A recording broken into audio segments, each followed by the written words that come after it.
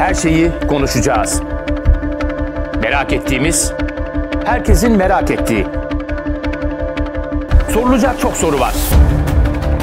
Farklı isimler, farklı görüşler. Sorunları tüm çıplaklığıyla konuşup çözüm önerilerini tartışacağız. Farklı fikirleri Türk futbolunu yüceltmek için bir araya getireceğiz. Yabancı oyuncu sınırından Merkez Hakem Kurulu'na, VAR sisteminden TFDK kararlarına kadar merak edilen her şeyi bu röportaj serisinde konuşacağız. Türk futbolunun geleceği için Be United.